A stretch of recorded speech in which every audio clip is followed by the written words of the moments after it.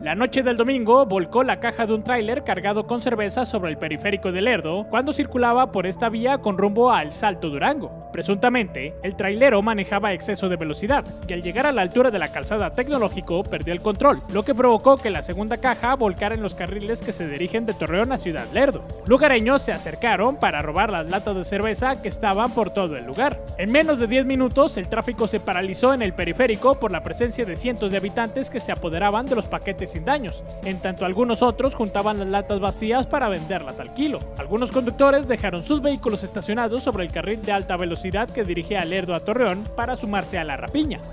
Fue el personal de protección civil y de bomberos quienes retiraron la basura.